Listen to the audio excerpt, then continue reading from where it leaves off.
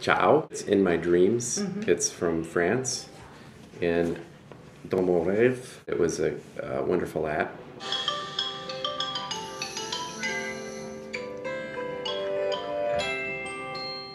Jurors were impressed by the ability to engage the child quickly.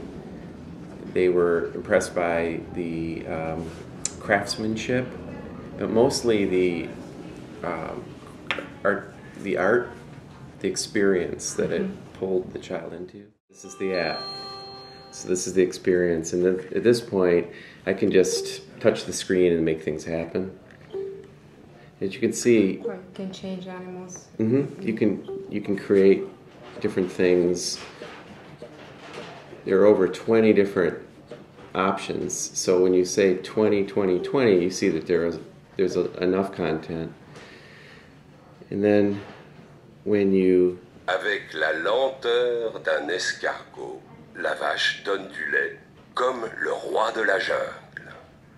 so when you touch the narration, you can hear it, but you can also manipulate the text to manipulate the graphics.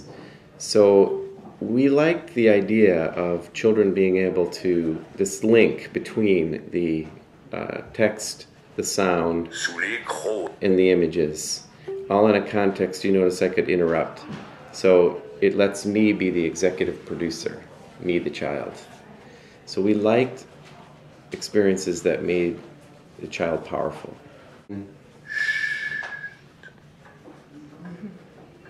Turn it into a dream.